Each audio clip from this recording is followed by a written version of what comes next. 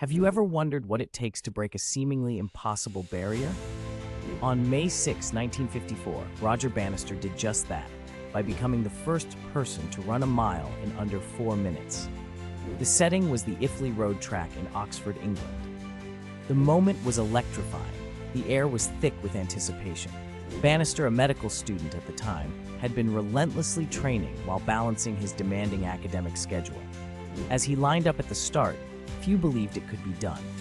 The previous record stood at 401.4, and breaking the four-minute barrier was considered beyond human capability. With Chris Chataway and Chris Brasher pacing him, Bannister started his historic run. The crowd held their breath as the laps ticked by. As he entered the final stretch, Bannister summoned every ounce of his strength. The stadium erupted as the announcer declared his time, 359.4. Not only had Bannister shattered a psychological and physical barrier, but he also inspired countless athletes to push beyond their perceived limits. His achievement was more than a record. It was a testament to human endurance and determination.